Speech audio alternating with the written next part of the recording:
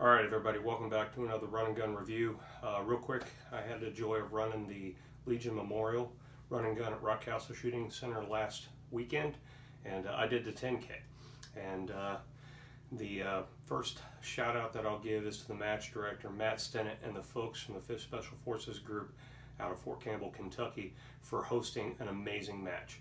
Matt, you and all the guys from group, you guys did an amazing job, put together an amazing match for an awesome cause for the uh, Special Forces Association and everything that you guys do in support of those guys. So, Matt, my hat is off to you. As many have already said, um, you do a great job. Thank you so much.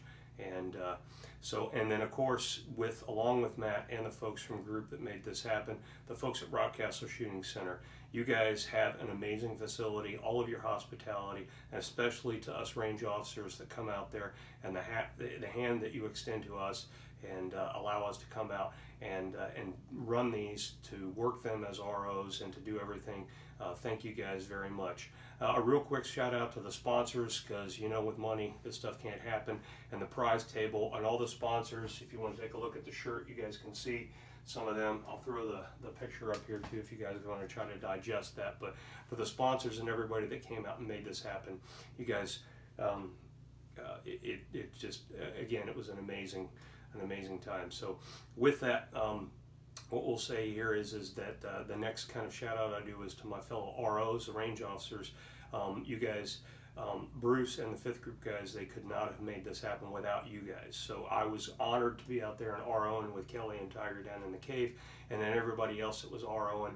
And, and if I didn't say thank you as I showed up to a stage, I got lots of thanks while I was out there Saturday and Sunday for what we do. And so thank you guys for joining me as we always do to do these kind of things. So um, one RO that I want to spe especially thanks is a good friend of mine, Bruce Perry. You're going to notice in my video here, um, I'm not going to spend a lot of time talking about GoProing um, my run, uh, and I'll talk about my run in a minute. But there were several times during the stages that I literally just did not turn on the GoPro. One was because I was so excited to shoot the stage, I forgot to turn it on. And for the last two stages, six and seven, I was just spent. Whether I didn't remember to turn it on or whether or not I just didn't care to at that point, which I'm, you know, I'm I'm sad that I didn't because I actually shot okay on the uh, stage six. It's the one that I I did not finish, but I still did okay, I think. And then the stage, uh, last stage, stage, stage seven, I did, uh, I did really good. So I wish I would have turned the GoPro on for that. So we'll get to the stages here in a minute, but I want to thank Bruce Perry, and that's why I was talking about this is because Bruce has allowed me to use his video footage that he shot, and he did great on all three of these stages that I missed shooting the GoPro for. So in this video, you're going to see my shooting, and you're going to see Bruce's shooting, and he also shot an FAL like me. So I'm proud to say that he's another FAL owner out here running these running guns and doing it with an FAL. So with that, I'll jump right into the gear that I used. So for the rifle, like you guys have seen in the past, I carried the FAL. I carried, it's a DSA SA58. It actually has a DSA DRS stock. You've seen my video review of it and how well it does. All right, well, I ran that during this match. Okay, with the Tab Biathlon, Biathlon sling all folded up. And it did really, really well on my back. Uh, kept the stock out of my way for obstacles and things of that nature. Ran the TA33 ACOG on top and I got some Butler Creek uh, lens caps on there. So I just threw the other one off. You can see that, but they did really good um, for the match. And uh, I had encountered some rain on a previous match and figured I needed to get some scope covers for it. And I carried six 20 round Moses FAL mags for this match and uh, I think I had two full magazines left even after clearing all the rifle stages that I did with it. So rifle did very well. The DSA ran really well. Did what it was supposed to do. For pistol, I ran the Smith & Wesson Gen 2 or 2.0 uh, M&P with a long slide on it, and I carried nine 22 round magazines and I was left with almost five full 22 round magazines because it carried way too much ammo, which is part of the reason that uh, I went into uh, probably some of the close to heat exhaustion that I did during the run because of all the ammo that I was carrying and I was only in the light fighter class so glad I did not wear plates. I'll talk about run in a minute. Uh, for gear I wore this big HSGI taco, uh, taco pouches on the uh, HSGI war belt. It's got the inner pad lining. It helps out when you carry a lot of ammo. It's got a, a uh, CamelBak on the back attached to this H harness so I had some water about a, a, liter and a half of water in there, drank all of it, um, and ran out uh, close to the very end, which it did its job and uh, kept me from getting heat exhaustion. Um, but uh, needless to say, being sick all week, kind of what I'll talk about now is the run itself and the results. Shooting wise, I placed like nine, nine out of 30 some runners, which I was happy with my shooting. But for the run, I was probably the slowest runner, I believe, of all the classes that were out there. And, uh, and, and that's because I think I kind of overdid it coming out there, carrying all this ammo, a heavy, a heavy weapon, and then also coming out there and running this thing sick. Um, I actually ended up uh, having to break a fever Saturday evening, early Sunday morning after working in the cave all day. And uh, I was actually worried that I was suffering from heat exhaustion. I probably was at some point in, in, in some way, shape, or fashion. But uh, I broke the fever, went out Sunday, felt like a new man as I RO'd in the rain all day for you guys that came out and ran on Sunday. So, um, uh, like I said, once you combine my very, very slow, and you won't even call it a run, um, you, uh, you, you combine that, I dropped it down to the lower the lower third, around 26th in the light fighter class. And uh, so, eh, with all that said, uh, I finished. Um, I only DNF one stage, which I'll talk about. All the stages were amazing. These guys, they, they put together an amazing course. The course itself, um, I'm going to talk real quick about it. Here's the map of the 10K course, and you'll see up here, this is a map that Todd Banis actually did using his GPS, and it'll show you kind of where the 10K route went and all the distance that we does. One thing it doesn't show is the elevation, and that being the elevation that uh, Matt decided to throw in this year by making us climb up that ungodly power line cut. All right, the elevation on this course, plus the heat that we had on Friday as the ROs ran, because it was 90 some degrees with 70 some percent humidity, and I want to say the heat index probably went well over 100, which I'm surprised because I ran the summer running gun in Oklahoma and it was hotter out there, but I went lighter and didn't carry as much uh, ammo and, and didn't carry as heavy a weapon, and I also wasn't sick when I was out there running it. So I think all those things put together, it caused us to, uh, you know, have caused me to have the issues that I had while I was out there. Uh, the many of these stages, and I'll talk about them in a second, the stages themselves, the last four of these, I probably took a good 10 to 15 minutes, if not more, literally sitting down on my runtime as I got to the stage, ungearing and just catching my breath and drinking water so that I didn't overheat. And uh, geared back up and got back into the stage and shot them. Shot great, uh, but uh, you know, like I said, is I, I probably should have planned better and uh, thought about what I was doing before stepping out on the run. So all that being said, let's move into the stages. Um, this will be the only kind of piece of running that I'm showing you here. Um, I'm not going to do even the fast forwarding through my run tracks in between stages, but this is out the gate. So as you're running down the hill, you're going down, down, down the hill from the start point, down to Doe Valley, down to stage one. Um, most of you guys know this route if you run Rockcastle. Uh, this is probably the only part that I was actually jogging at a pretty good pace after stage one because once I got to stage one, I was smoked. All right, so I was smoked, and you know what what you see here is probably the fastest that I did during this entire course because I spent the better part of the rest of the time walking a lot of it, jogging a little bit here and there when I got to the flats, and like I said, doing a lot of sitting around and waiting as I got to the last four stages. So we'll talk about that when we get to that. So at any rate, here we go with stage one. So as you show up to stage one, um, we had a kind of a backup, so I got a little bit of wait time after that little jog. I'm already kind of feeling the pain, the, feeling the pain of maybe I'm carrying a little bit too much weight um, for this 10K that I'm about to embark upon. So um, we got to kind of watch some of the other runners shoot this stage, so I got to get a little bit of mental preparation because I had some wait time to uh, try to prepare for it. So I shot really good. I was really happy with the stage. Um, this is the one though that right out of the gate physically taxed us, and you'll see that here in a minute with Rescue Randy and uh, and what happens with this stage. So all of these stages, real quick before I go into it, they're all designed around a mission or a time at some point when the SF guys or the Green Berets have actually spent some time out in the uh, out in the field um, and a lot of these stages are built around the point that, uh, built around the fact that they have, uh, somebody has been wounded or they have lost um, somebody. And, uh, you know, I'm kind of taking a step back for a minute to talk about each of these stages and everything that these guys do out here. I'm actually going to post these up later so you guys can read all of this. But every one of these stages is built around a vignette, if you will, about a place that the SF community has been and what they have done over there. Um, and they tried to design the stages to create some realism behind the training that we were doing out here um, to reflect just a little bit, just a taste or a flavor of some of the stuff these guys are encountering every day. So again, like I said, these will be posted at the end of this. Uh, everybody, I do implore you guys read these, okay, especially the back piece. And these are the folks that this this specific chapter and uh, the specific unit has lost um, out there. Um, you know, in, in harm's way and doing what they do. So again, uh, this entire match and everything built around this, um, uh, all the proceeds and everything that they did for this goes to SFA, and that's the Special Forces Association, and they do a lot of stuff for the Gold Star families and the families of the, uh, the SF community and what they do. So again, like I said, is I'll talk a little bit about stages before we shoot them, just so you guys get an idea of what I was in, encountering and kind of what these things are. So stage one, um, I believe the vignette had to do with uh, Major Carr, captain at the time, who was an OV-10 Bronco pilot and uh, in Vietnam.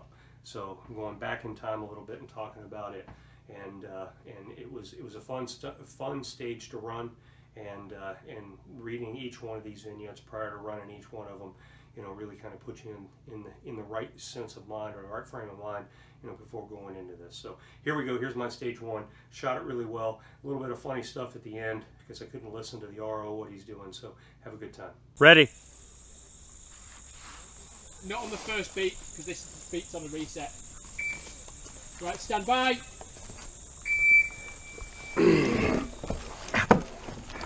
Shit.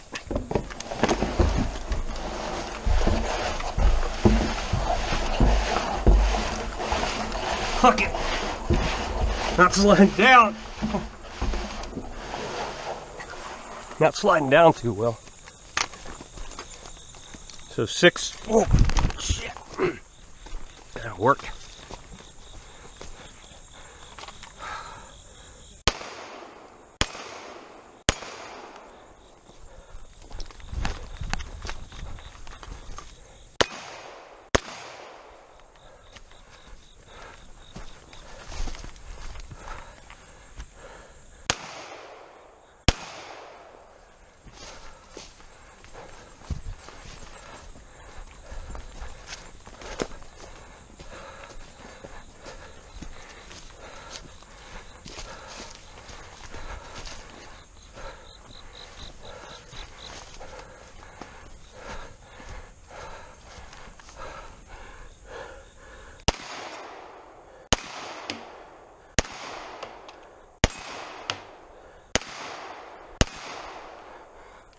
Holster, right? Yep, holster.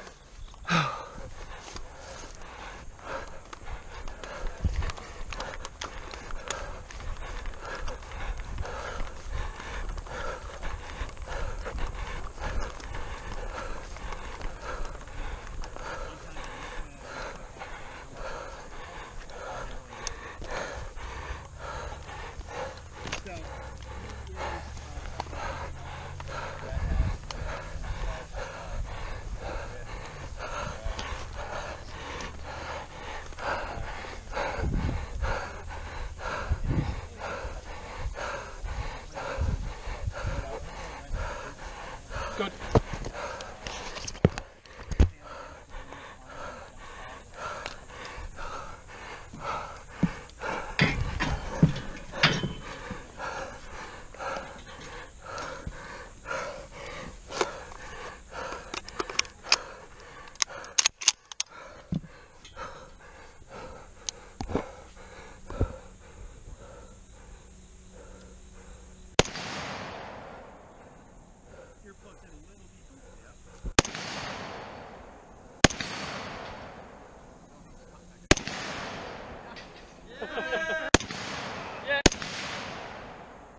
Hit.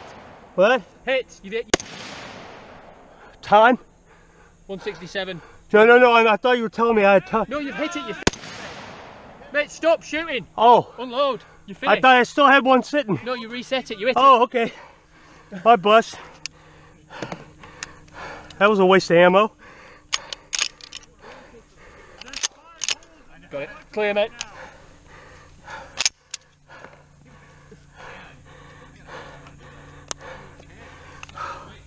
Holy fuck me. Alrighty, all right. Now we go to stage two. Stage two, uh, I was actually really excited. This is the first time I mentioned earlier that I had issues with my GoPro. Well, this is where I had issues with the fact that I showed up to this stage, and I was really, really excited to shoot it because I showed up, and my good friend Rusty Trumbull was uh, sitting in a Polaris, and then jump in. You're about to shoot the stage, so we're going to do mounted vehicle shooting from his Polaris at targets. You'll get to see this in a minute. Not with my video though, but you're going to get to see it in Bruce Perry's video. Bruce Perry um, allowed me, like I said earlier, to use his video footage because I was so excited to shoot this stage. I totally forgot to turn my GoPro on. Um, I shot this stage pretty good. Uh, as the vehicle shooting was going by, shooting the FAL at 308, I think I only got one complete shot on all the moving targets, but I would say that I know I hit all of the other ones at least once or twice. And the last target, I believe I actually got all three shots on. So, but 308 at that distance, if I put one round into the target and they were all kill zone shots, I'm pretty sure they'd be gone. So here goes. Here's Bruce's run at this stage. And uh, he ran an FL, like I said, and uh, again, he impresses uh, us all as he goes out and shoots the FL in these matches. So here's Bruce's video of stage two, Rusty Trombone, Rusty Trumbull, Rusty Trumbull's uh, Polaris vehicle mounted, mounted to dismounted shooting. You ready?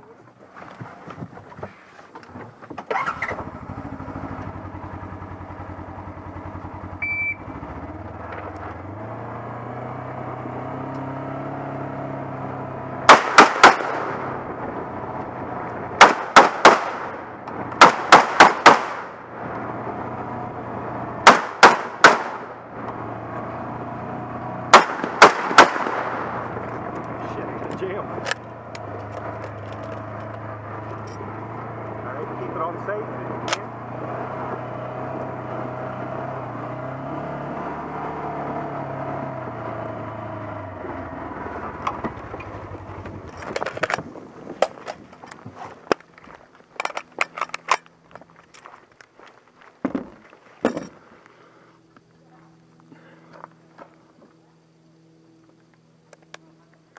Hit!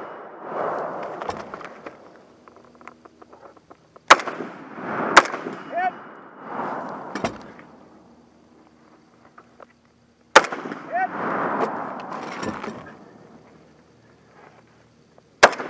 Hit! No, you're good, Bruce. Okay. You're done. I can't. All right. Again, just like I showed you earlier, I'm not going to show you all of the running in between stage one, stage two, and this and that. I normally fast forward through that stuff anyway. But to show up to the cave, I'll real quick show you the video of the climb down to the cave for any of you guys that have never shot in the cave. All right, and you know what you do at Rockcastle when you go down to shoot in the cave. You know that kind of long journey to get back to the ROs. You show up to the ROs, they give you your stage brief in the cave, and then you run through and you do what you do in the cave.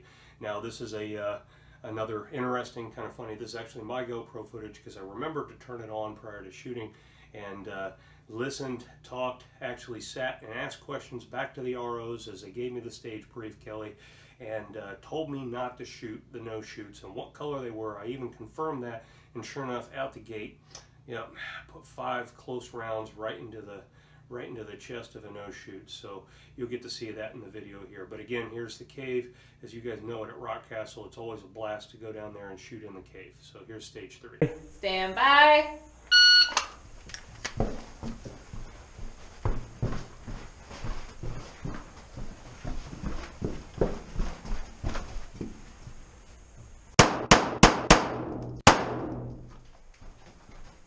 Son of a bitch.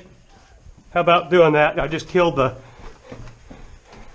the wrong one because I didn't listen.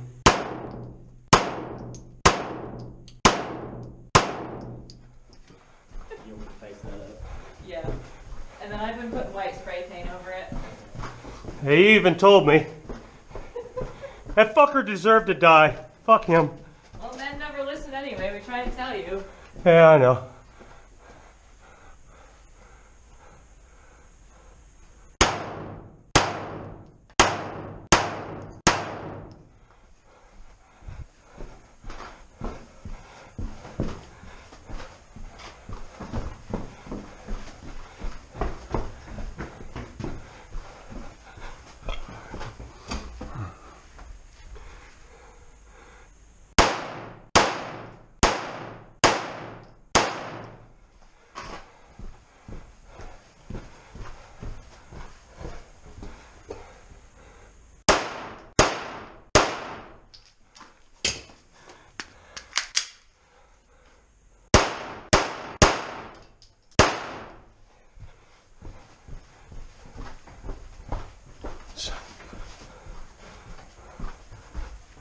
Did I miss a shoot box? Nope, keep going.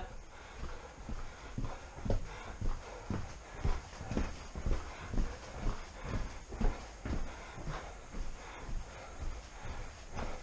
Going all the way back.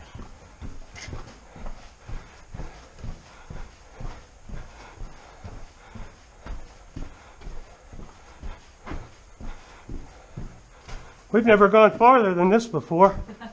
That's what she said. I hear that all the time.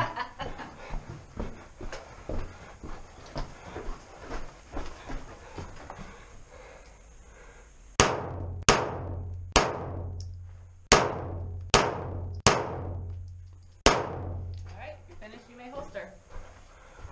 One forty-five seventy-four.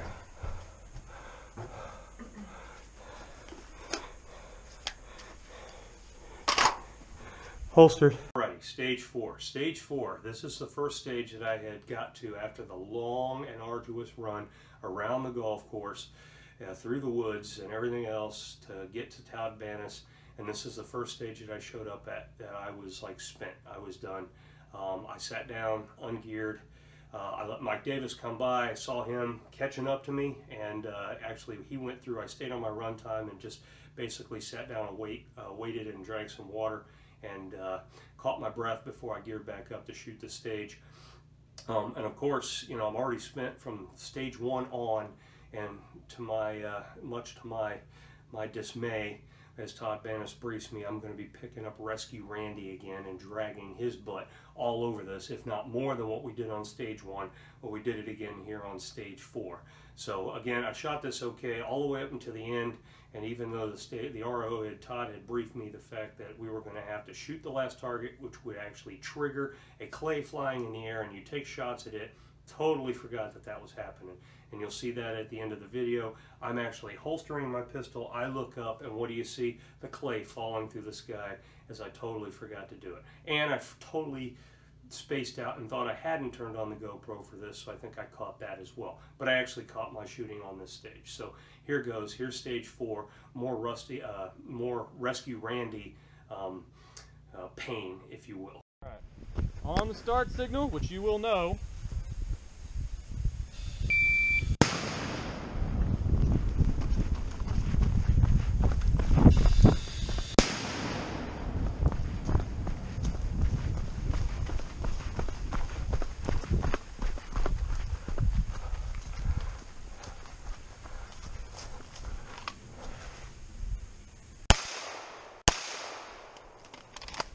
Drag him that way? To you? yep, cover.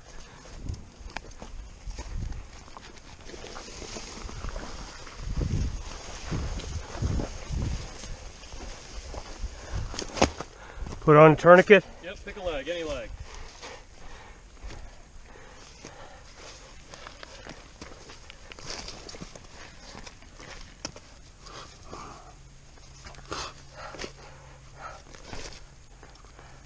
Try something and we'll call it good.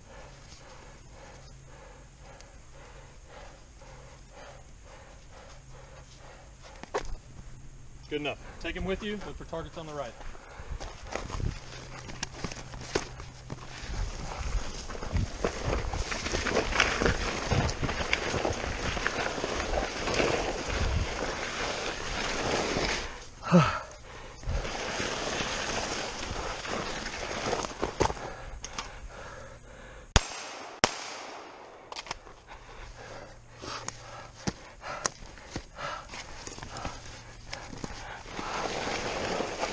Fuck me.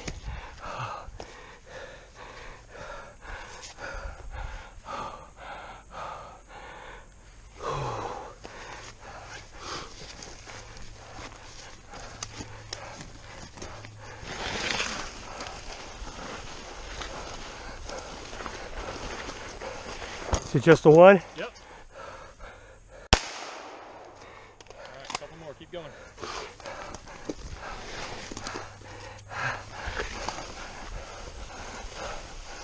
Hey, Case, clock is not your friend right now.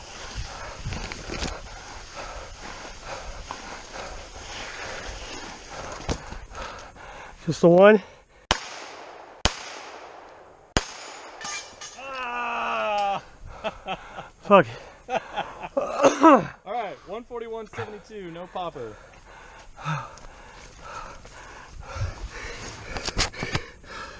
Son of a bitch.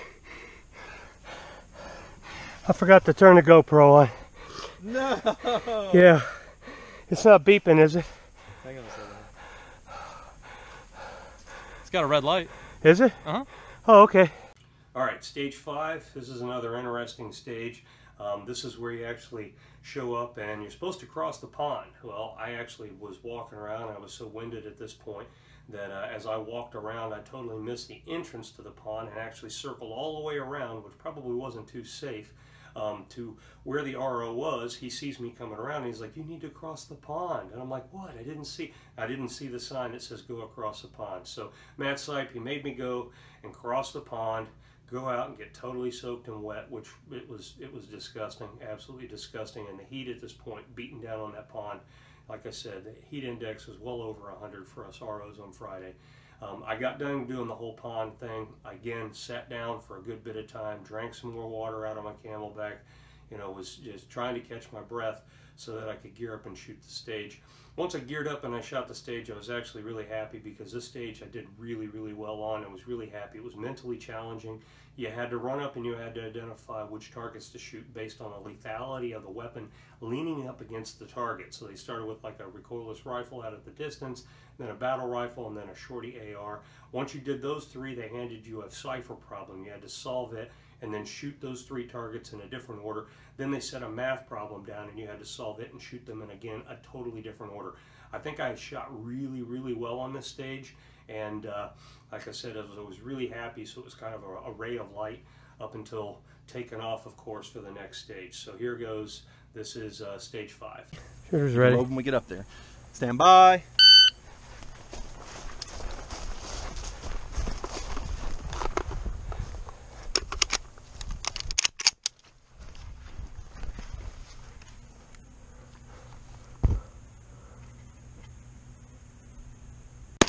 Hit! Hit! Hit! G One, three, two. Yes, sir. Hit! Hit! Hit! Next. Three, one, two. Yes, sir. Hit! Hit! Hit! All right. Is that it? That's it. Unload and show clear. Nice. All right, rifle's clear. 54-22. Is that a good time? Beat Stennett by 30 seconds. All right, stage six. Stage six, this is the long road across and back up out of the golf course and back over to the other side of Rockcastle. All right, when I got to this stage, I was done. I was done because this is where Matt threw in the elevation. This is where we had to go up the power line cut. We had to go up this enormous hill. I tell you, I got to the bottom of it, I was cussing him out. I got to the top of it, I was cussing him out. And I was sitting down again. Once I got to the top, I literally sat down and waited for a good five to ten minutes there out in the woods, catching my breath, geared back up. Got to the stage after just hiking through the woods the best that I could. Sat down again, waited, and I think at this point, this is where I didn't turn on the GoPro at all because I just literally didn't care at this point, which I would have, but at any rate, like I said, I didn't. So we end up, uh, you know, getting the stage brief. I shot the stage pretty good. This is the one that I did not finish, and that's because I spent too much time on the 300 yard target. But I ran through, I shot the standing, the running, running by targets good, got up on the horse. The FL did its job. It actually made all the hits. I just took too much time trying to shoot the 300 yard target because I was winded and trying to get a good solid position to shoot from on top of the horse. So this is another video that Bruce Perry, again, thank you Bruce. He allowed me to use his stock footage. So this is Bruce shooting stage six, the, uh, the horse stage. So here goes, here's Bruce's video. And he shoots it really well with an FAL again, a little bit of funny stuff in there too. Sure. Stand by.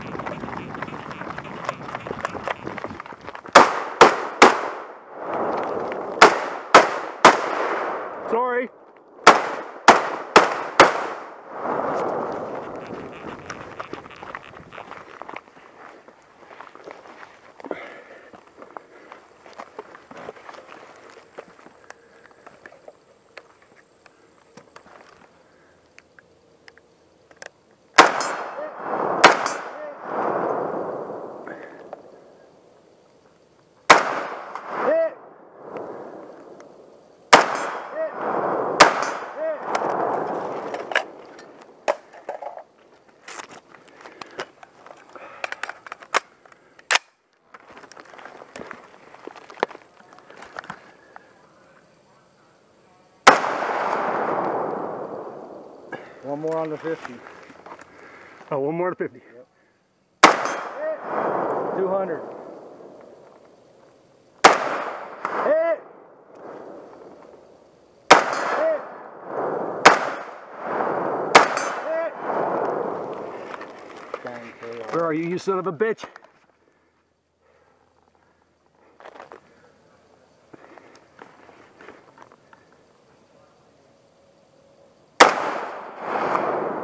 Hit front of it. Hit!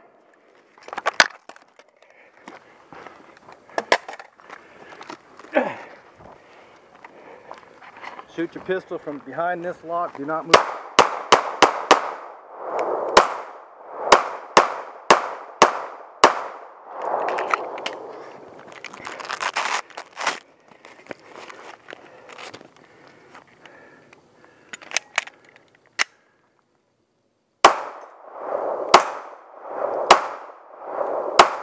Son of a bitch!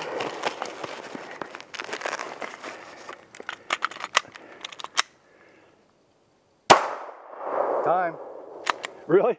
No, you, you got it. 144.26.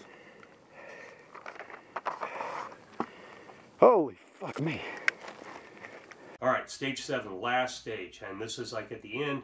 This was another one where I totally forgot to turn the GoPro on, and I am really upset with myself that I didn't turn on the GoPro because this is one of the more exciting stages that I encountered during this run. All right, this one was one that really challenged your mind. So we're in this stage, and they're giving a really long intel dump. All right, in the beginning of it for your stage brief. So you had to actually remember quite a bit of stuff and actually try to recall things you saw on the trail, which is this sign right here. So what you see right here is this sign is something we encountered somewhere, I believe, between stage five and stage six during that power line cut climb. I actually saw this sign. I saw this sign because when I read it, I said to myself, gosh, I'm a Marine. If I only had a Sharpie, I would so be tearing this sign up right now, okay, with a Sharpie. And then I saw the gnome at the bottom, and I said, that is a cute gnome. I want that, and I was going to steal it. I was going to take that gnome. Uh, but at this point, whatever it was, I said, well, maybe it's needed. It's a good thing it is, because actually the intel dump they're giving us on stage seven, they told us that the door you had to go in was the same color as the gnome's hat. In my head, I'm like, I remember that gnome. Was he wearing a red hat? Was he wearing a green hat? Gnomes wear red hats. I'm pretty sure gnomes wear red hats. So at any rate, that kind of intel on the fact that all the enemy in the three rooms that you had a choice to go in, but you were only allowed to go into two, all right, you had to go in the right door. You had to engage all the people that were wearing black. So you run in, they're wearing black. So you had to engage all the enemy in black. All right, and that the the H high value target, he was marked with a blue diamond. So you had to remember all these things. And then you had to remember that the room that the high value target is in, after you engage all the enemy and you kill the high value target that's in the room that you get to choose uh, to go in, then you have to grab the sensitive site exploitation equipment from that room and take it out of there, and then you would complete the stage. So I actually ran in the correct room with a red door, gnome's hat, walked in, killed everybody in black, engaged the high value target who was wearing black but also had a blue diamond on him, ran out of the room, grabbed the laptop that was in there because that was the piece of sensitive site exploitation equipment I saw. As I was running out, I'm being yelled at by the RO, stop, stop, stop, because I just kept running. And I was literally moving to another bay at this point, and he told me I was done. I actually shot it pretty fast. I engaged all those targets with pistol, but again, like I said, I'm upset because I actually forgot to turn the GoPro on yet again. And so I'm using Bruce's video again, which he did the exact opposite of what I did. And I think he told me at this point he was a mental mush when it came to him listening to the intel dump in the beginning of this. And he ran into the first room and it didn't have the HVT in it. And so when he ran out of it, he grabbed a whole bunch of heavy sensitive site exploitation stuff and then skipped the bay that had the red door and went into the last bay that actually has a suicide bomber in it. So this is the exact opposite of what you should do. Thank you, Bruce, for letting me use it. And uh, like I said, as I briefed you on my stage, here you get to see Bruce run the stage and do exactly the opposite of what you should have done. So thanks again, Bruce. Here it is. Huh. Oh, they're colored in black. I get it now.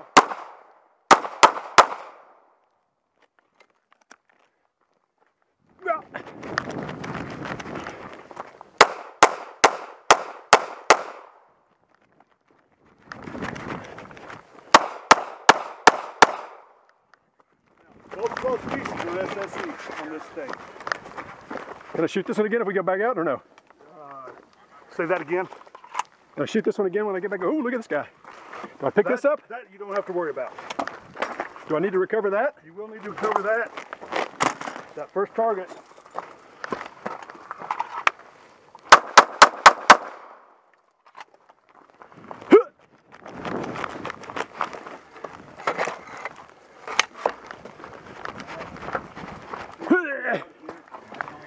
That's a heavy son of a bitch. Okay, those are clear. You have one more time. Go ahead.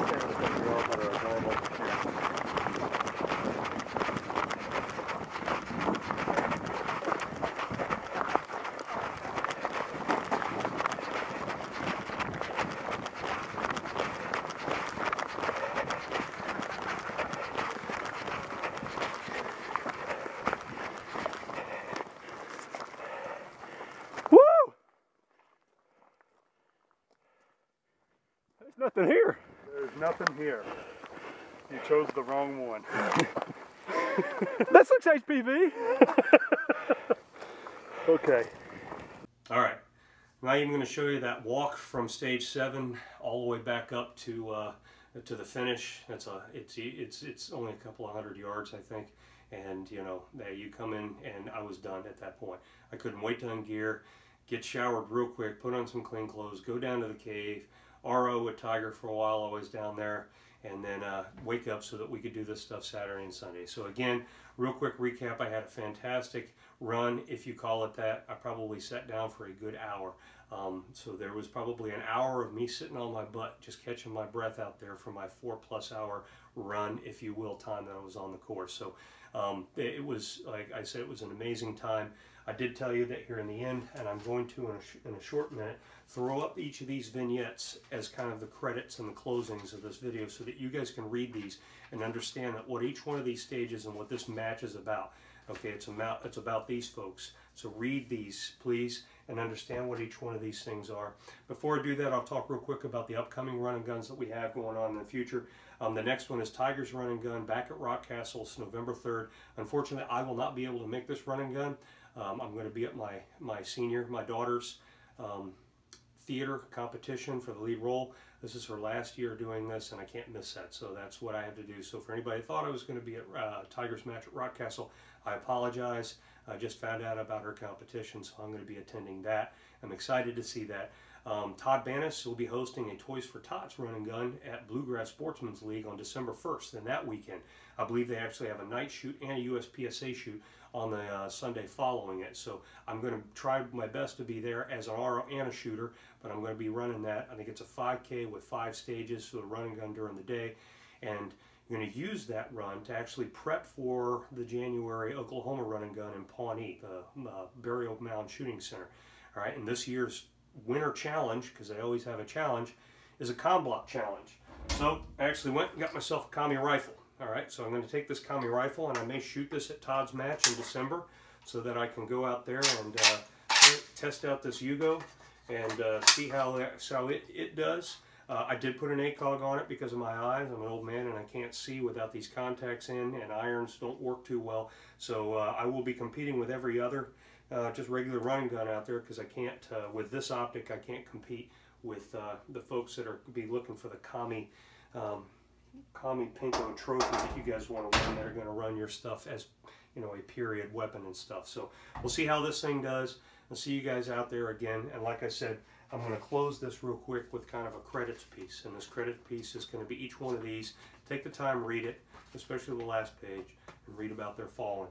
All right, and everything that SFA does. So thanks again. Sorry it's a long video, but this one's important. Uh, I'll see you guys out there again. Thanks. Bye.